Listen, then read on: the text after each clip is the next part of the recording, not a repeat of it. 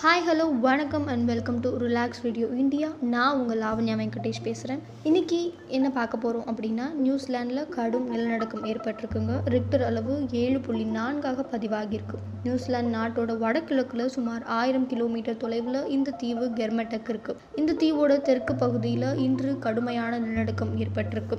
அதோட ரிக்டர் அளவு ஏழு புள்ளி நான்காக பதிவாகியிருக்கு.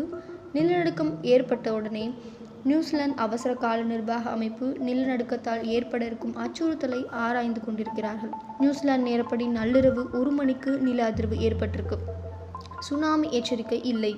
யாரும் வீட்டை விட்டு வெளியே வர வேணாம் அப்படின்னு சொல்லியிருக்காங்க. உங்களுக்கு இந்த வீடியோ பிடிச்சிருந்தா like share and subscribe to relax radio India